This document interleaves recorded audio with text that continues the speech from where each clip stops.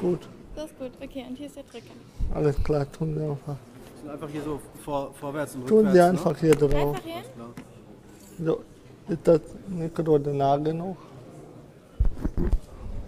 So, ja, okay. Ja, das ist, glaube ich, gut.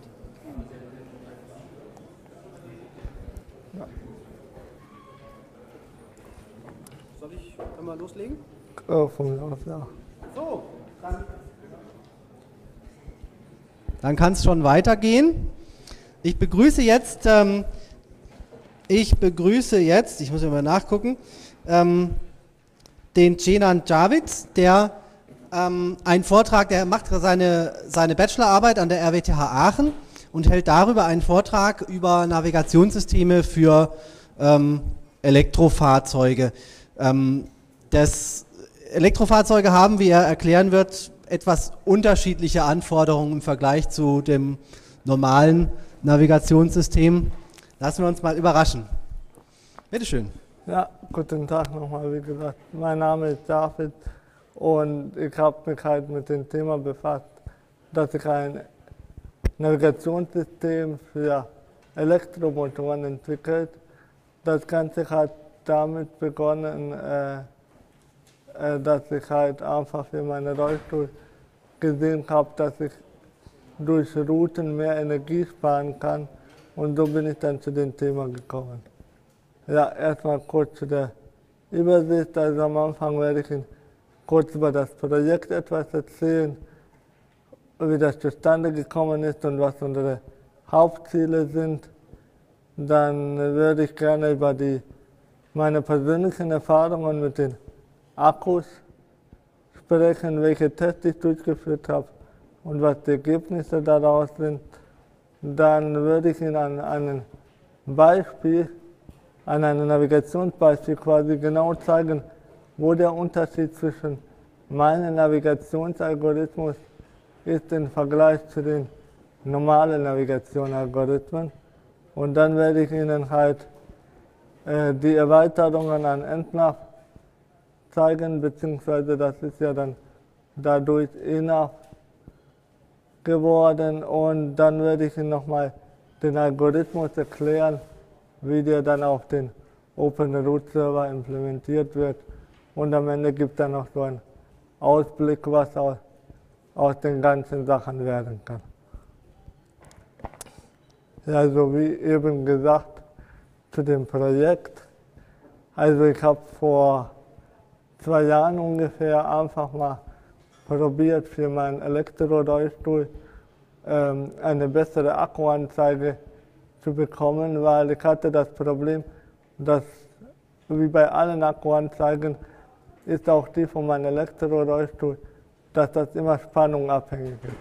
Das heißt, mein Problem war, dass ich quasi am Anfang ähm, zu lange vollen Akku angezeigt habe, später ging es dann ziemlich schnell bergab, also quasi bergab mit der Anzeige und das wollte ich ändern. Und durch dieses ganze Projekt und diese Versuche bin ich dann auf die Idee gekommen, halt, dass wenn wir die Vorteile der To- Topologie bzw. die Nachteile betrachten, dass wir viel Energie halt äh, einsparen können und deshalb wollten wir halt versuchen, durch die Betrachtung der Topologie Energie einzusparen und vielleicht auch dem End-User oder Benutzer das anbieten, dass er quasi eine bessere Vorkalkulation und bessere Planung zur Verfügung hat. Sehr gut, also für dieses, für dieses Projekt haben wir als Testfahrzeug mein Elektrorollstuhl benutzt. Äh, Das hat halt also die Eigenschaften, die für uns dann in eine Rolle spielen, ist die Batteriekapazität. Es hat dann zwei Batterien, jeweils 42 Ampere-Stunden, hat eine maximale Reichweite la- laut den Hersteller 30 bis 40 Kilometer und kann die maximale Steigung von 12 Grad bewältigen. Wir haben dann unterschiedliche Tests durchgeführt, wie zum Beispiel den Akku unter Normalbedingungen äh, komplett leer laufen zu lassen und sind dann wirklich zu dem Entschluss gekommen, dass die Normalbedingungen, ähm, dass die Normalbedingungen den äh, Sachen aus dem Handbuch quasi entsprechen. Normalbedingungen bedeutet, wir haben uns einen Sportplatz ausgesucht, wo wir wirklich von vollen Akku den komplett konstant leer gefahren haben, sodass wir auf eine ebenerdige Strecke hatten und dann in die quasi konstante Kurve. Natürlich in der Kurve ein bisschen mehr verbraucht, als wenn man ständig gerade fährt, aber das war trotzdem so von uns das am optimalsten machbar. Okay, aus diesen ganzen Versuchen haben wir dann eine Verbraucherfunktion bekommen, wie, das, ähm, wie die Steigung der Straße in Faktor zu den, zu den ähm, Akkuverbrauch geht. Und dann sind wir dann zum Beispiel auf die Funktion gekommen, dass die Reichweite mal Normalverbrauch, Normalverbrauch wird so definiert, dass man einfach sagt, die Batteriekapazität wird dann durch die Reichweitenkilometer genommen, in unserem Fall dann wäre das ja der untere Wert, weil man geht halt einfach von den untersten Wert, weil das ist einfach sicherer. Falls es eine Fehlkalkulation gibt, dann hat er lieber hat der Benutzer einen Puffer nach oben als einen Puffer, also als dass er irgendwo auf der Straße stehen bleibt. Auf jeden Fall kamen ja dann zu einer gesetzten Funktion, die sich folgendermaßen zusammensetzt. Das ist Reichweite mal Normalverbrauch mal 1,5 hoch die Steigung. Und wir haben dann genauso erfahren, dass wenn wir bergab fahren, dass der Verbrauch ziemlich gegen Null geht, weil der nur den äh, Bremsweg quasi verwendet. Also haben wir dann einfach Reichweite mal Normalverbrauch mal 0,05. Faktor von 0,05 genau. Ja, jetzt kommt halt das Beispiel. Ähm, stellen Sie sich am besten vor, wir hätten quasi anstatt von den ganzen Knoten, wären einfach irgendwelche Kreuzungen und die Kanten wären Straßen. Sie sehen jetzt immer als erste Zahl ist halt die Länge, die zweite Zahl ist die Steigung in Grad und die dritte dann auch mal in Prozent, weil in OpenStreetMap wird das quasi in Prozent eingegeben, aber es kann zum Beispiel auch vorkommen, dass der Benutzer in seinem Handbuch einen Grad findet und deshalb wollte ich einfach mal zeigen, dass es beide Angaben gibt und äh, halt den Unterschied kurz zeigen. Jetzt sehen wir hier den blauen Weg. Das ist, äh, wie Sie sehen, hier AC, ACG. Der Weg ist nur 3,7 Kilometer lang. Das bedeutet, laut dem normalen Routenalgorithmus, den alle machen, würde das der kürzeste Weg sein. Aber wenn Sie jetzt die den Verbrauch betrachten, stellen Sie fest, dass der kürzeste Weg 118,43 Ampere-Stunden verbraucht. Jetzt sehen wir zum Beispiel den Weg, der geht über A, D, E nach D. Da haben wir eine Länge von 5,4 Kilometer, 5,4 Kilometer ungefähr, aber nur einen Verbrauch von 51 Ampere-Stunden. Hier kann man deutlich den Unterschied sehen, wie viel man quasi rausholen kann, also wie viel man mehr Energie sparen kann, wenn man einfach die nächste Route, also die effizienteste Route benimmt. Hier kann man das jetzt noch ein bisschen besser klar machen. Also die kürzeste Route ist zum Beispiel die Route B. Da sehen Sie halt, es geht bergab wo wir dann sagen können, wie wir gesagt haben, dass es extrem wenig Energie verbraucht, aber dieser letzte Stück, der bergauf geht, verbraucht dann so viel enorm viel Energie, dass sich das quasi gar nicht lohnt. Und deshalb, somit ist laut unserer Rechnung quasi der Weg C der effizienteste und am wenigsten energieverbrauchende. Jetzt ist das ganz interessant, wenn wir jetzt den Rückweg betrachten. Also ähm, betrachten wir quasi, dass wir jetzt von D nach von G nach A wollen, dann sehen wir ähm, folgendes Beispiel, dass wenn wir wieder den kürzesten nehmen, tut mir leid, mir fällt gerade auf, dass ich einen Copy-Paste-Fehler habe. Normalerweise müsste der kürzeste Weg G, C nach A heißen.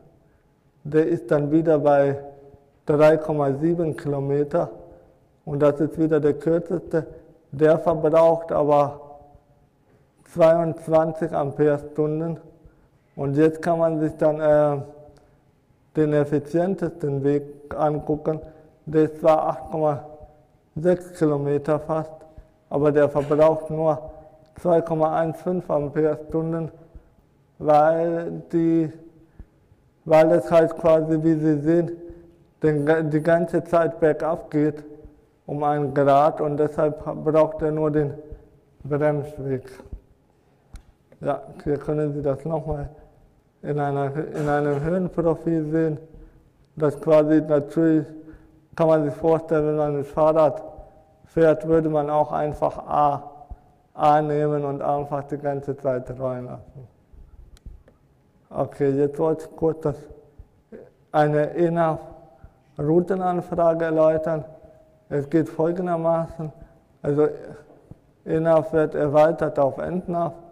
Das bedeutet, wir, der Benutzer gibt in sein Android-Handy äh, die Daten ein.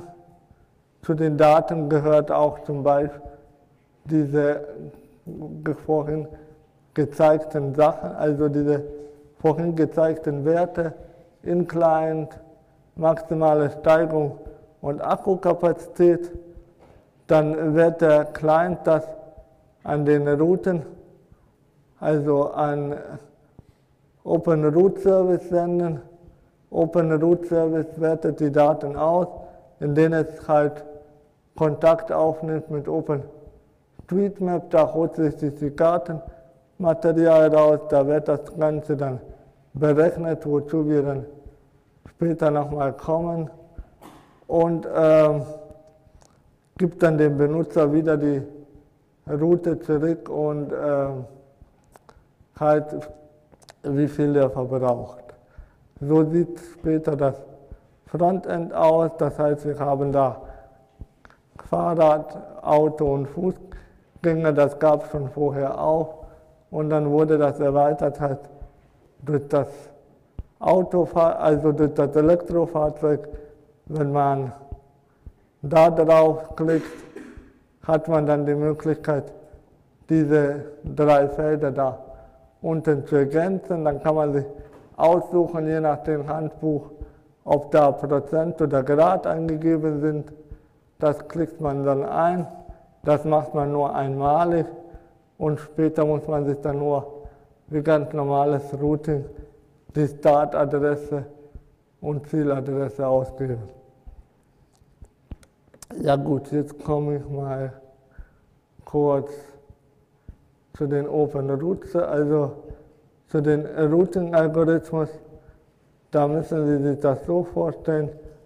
Dieser blaue, also ich habe, da ich keinen Pointer benutzen kann, habe ich das in Farben unterteilt. Oben der blaue, das sind Eingaben. Wir sehen auch von, wir sehen, dass wir von OpenStreetMap das ganze Kartenmaterial kriegen mit der entsprechenden dazu Steigung und äh, halt die Standardkarte und von Entlauf kriegen wir dann die ganzen, äh, also den Start, Ziel und diese gerade gesehenen Energieangaben. Dies geht dann zum Algorithmus. Dann wird halt erstmal aus dem Kartenmaterial rausgefiltert. Da gucken wir, es gibt leider in Deutschland noch nicht genügend Kartenmaterial, dass man quasi sagen kann, dass es überall fun perfekt funktioniert, weil zurzeit sind zum Beispiel hier in Heidelberg und in, in Bonn ist halt durch die Astrid, Frau Astrid Müller und den Pascal Nein, es gibt da äh, ziemlich gute Kartenmaterial, womit wir auch super arbeiten können, aber leider noch nicht deutschlandweit und deshalb haben wir halt so eine Kontrolle gemacht. Das heißt, wir gucken als erstes in den, in den schwarzen Block, gucken wir dann, ob äh, Höhenangaben vorhanden sind. Falls keine Höhenangaben vorhanden sind, markieren wir die Straße und setzen da die Höhenangabe 0. Okay, dann, wenn wir mit dem schwarzen Teil fertig sind, kommen wir zu dem gelben Teil. Der gelbe Teil bekommt quasi äh, eine Karte mit allen Höhenangaben ange angegeben und der wendet quasi unsere Verbraucherfunktion ein. Die Verbraucherfunktion macht dann folgendes, die äh, guckt halt bei der, wenn die Steigung kleiner, kleiner minus 0,5 Prozent ist, dann wird wieder dieser Faktor von 0,05 genutzt. Wir haben uns extra auf minus 0,5 geeinigt, weil wir uns gedacht haben, bei einer Steigung von, 0, von minus 0,5 und 0 Grad, das ist so wenig, dass quasi da einfach zu viele Reibung noch ist, dass man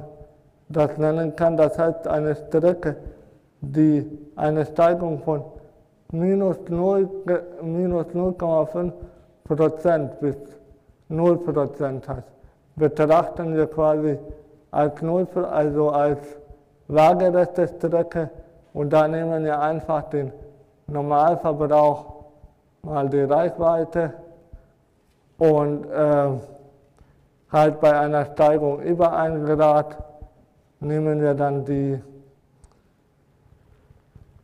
da nehmen wir dann die oben erklärte Funktion, indem wir Normalverbrauch mal Reichweite mal,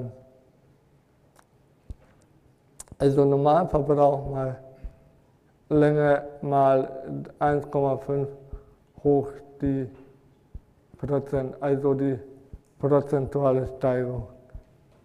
Nachdem wir dieses gemacht haben, haben wir dann ein Straßennetz, in dem wir unsere Verbrauchwerte an Kanten haben. Das bedeutet, wir können jetzt einfach mit einem Suchalgorithmus nach dem kürzesten Weg suchen bezü bezüglich der Kantenlänge und die Kantenlänge ist für uns jetzt der Verbrauch was halt jetzt dem Benutzer noch eine optionale Auswahlmöglichkeit gibt, weil der Benutzer bekommt jetzt den effizientesten Weg berechnet und er bekommt aber parallel dazu den kürzesten Weg berechnet. Das heißt, äh, der Benutzer bekommt später eine Ausgabe auf dem Display. Wir haben den effizientesten Weg, der hat die Länge von so und so viel Kilometer äh, verbraucht so und so viel Amperestunden. Und ähm, die Sache ist dann quasi, dass er noch einen Relevanzfaktor hat. Der Relevanzfaktor, der setzt sich so zusammen, wenn Sie sich erinnern, haben in den schwarzen Block oben die Straßen markiert. Also die Straßen, worüber es keine Steigung gibt, markiert. Das bedeutet, wir nehmen jetzt quasi einfach die Straßen, wo überall keine Steigung gibt, durch äh, die Straßen, die wir überhaupt benutzt haben und können dann später eine Ausgabe sagen, zum Beispiel, der Weg ist so und so viel Prozent relevant. Das bedeutet, wenn der Benutzer sieht, ja, der Weg ist nur 20% relevant, dass er vielleicht dann doch den kürzesten Weg wählen sollte und sich nicht unbedingt auf den Verbrauch verlassen kann, weil wir können keine Aussagen darüber treffen, wenn wir nicht diese Steigung haben. Ja, und äh, ja, wir hoffen, dass wir jetzt halt quasi durch, diesen, durch dieses Projekt den Trecker auch äh, einen Grund mehr dafür geben, dass die Steigung eingetragen wird, weil ich kann mir gut vorstellen, dass quasi, wenn die Benutzer, also wenn die Trecker keinen Grund haben, haben die auch sofort weniger Motivation, das einzutragen. Ja, kurz zum Ausblick. Also, Ausbau, also wir haben vor, halt den Ausbau zur Erkenntnis von effizienter Energienutzung zu haben. Dann wollen wir halt mit dieser ganzen Software auch die Akkuprognose sicherstellen. Das heißt, besonders für Rollstühle, dass wir sicher zum Ziel kommen. Und was auch besonders für Behinderte wichtig ist, wenn da die, die Ladestation meistens an einem bestimmten Ziel verknüpft haben, auf die, dass die dann auch wieder von diesem Ziel zurück nach Hause kommen quasi oder zurück zu ihrer Ladefunktion. Und das dritte ist auch eine interessante Erweiterung, da wollten wir eine Tracking-Erweiterung für ENAF machen. Das bedeutet, dass wir eine Möglichkeit geben, dass die Leute, die ENAF benutzen, dass die quasi irgendwie alle Höhendaten über GPS senden, hochladen können, dass diese Daten irgendwo zwischen ausgewertet werden, weil ich sag mal, es kann auch vorkommen, dass die Daten fehlerhaft sind und dass wir einfach von einer großen Masse von Daten äh, dann einen Durchschnittswert über stochastische und mathematische Berechnungen bilden, wo wir hoffen, dass wir uns der Realität dann ziemlich annähern. Ja. Okay. Ja, dann vielen Dank erstmal für Ihre Aufmerksamkeit. Sie können gerne auf der Website über das Projekt noch genauere Dateien, also Informationen bekommen, aber die können einfach mich persönlich auch anschreiben. Ich stehe Ihnen jederzeit gerne zur Verfügung und ich hoffe auch, da zurzeit nicht viele Leute äh, mit mir an dem Projekt arbeiten, ich hoffe auch, dass vielleicht sich der eine oder andere in den verschiedenen Bereichen halt noch mit mir zusammentut, weil ich habe im Moment nur die Steigung in Betracht gezogen. Natürlich spielen auch andere Faktoren, Faktoren für die Energie wie Reibung oder wenn da später Fahrzeuge kommen, wird dann natürlich dann Autofahrzeuge kommen, wird dann natürlich die Rolle wie zum Beispiel Geschwindigkeit, Gegenwind und viele solcher Faktoren kann man da einbauen. Und es würde mich freuen, wenn sich Leute melden würden, die Interesse hätten, daran zu arbeiten. Ja. ja. Dann vielen Dank, wenn Sie Fragen haben.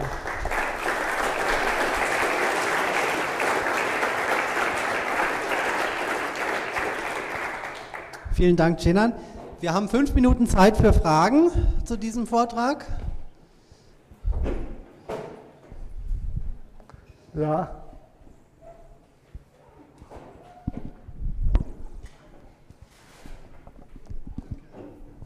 Hallo. Ähm, nur so ein kurzer Gedanke. Also mit so einer Formel den Energieverbrauch irgendwie zu prognostizieren, erscheint mir irgendwie halt ungenau. Ähm, Wäre es auch eine Möglichkeit, dass man reale Energieverbrauchsdaten von der ENAV-Anwendung sammelt?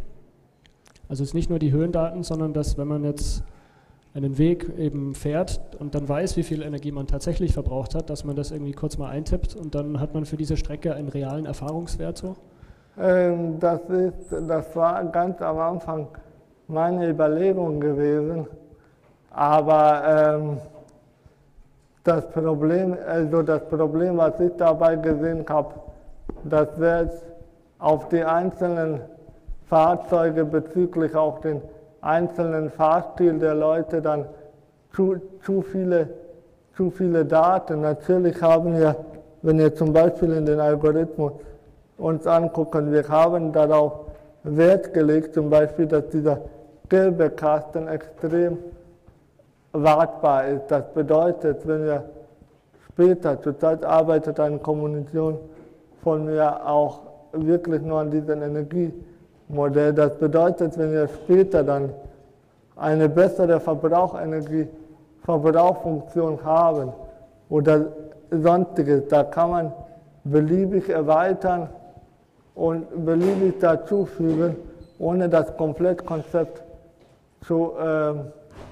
zu ändern zu müssen, dann ist das vielleicht eine Arbeit von zehn Minuten in das System, das zu integrieren und dann ist die Sache dann auch fertig. Ja. Ja, haben Sie auch schon daran gedacht, die, also hier sitze ich, die freien Höhendaten von der NASA, sprich die SRTM-Daten da mit OpenStreetMap zu verknüpfen? Weil das kann man durchaus machen, das haben wir schon gemacht in unserer Firma. Und das ist eine gute Ausgangsbasis für Höhendaten auf jeden Fall. Das kann man dann sicher noch äh, vergenauern mit jeder User trackt seine aktuelle Höhe, aber es ist eine gute Ausgangsbasis für diese ganzen Gebiete, wo es gar keine Höhendaten gibt in OpenStreetMap. Entschuldigen Sie, können Sie die Frage nochmal wiederholen? Ich habe es akustisch nicht verstanden. Ob Sie SRTM-Daten schon verwendet haben oder ob Sie daran gedacht haben. Das sind die freien Höhendaten von der NASA. Äh, ja, ja das, das wäre natürlich möglich, nur dann ist dann die Frage halt über die, genau, also über die Genauigkeit der Daten.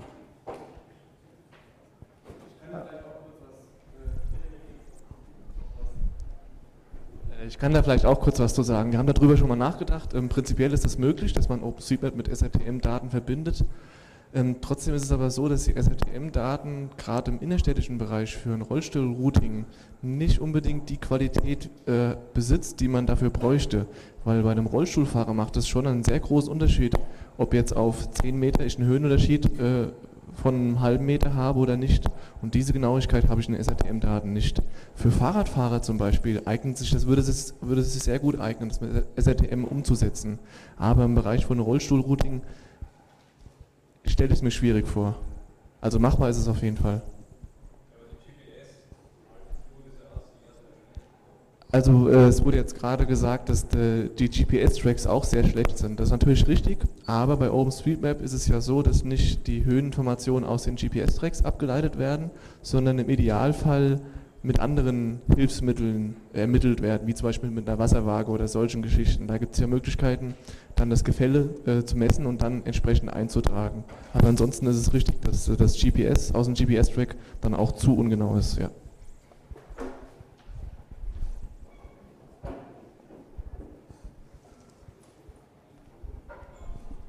Gibt es noch weitere Fragen?